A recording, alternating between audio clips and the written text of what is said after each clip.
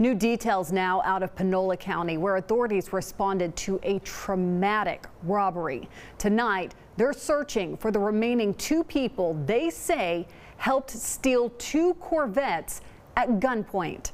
It happened on Monday near Highway 79 north in DeBerry. Now, the sheriff's office tells us three men were pulling people over with a firearm, forcing one woman to undress down to her underwear and then zip tying her before leaving with both cars.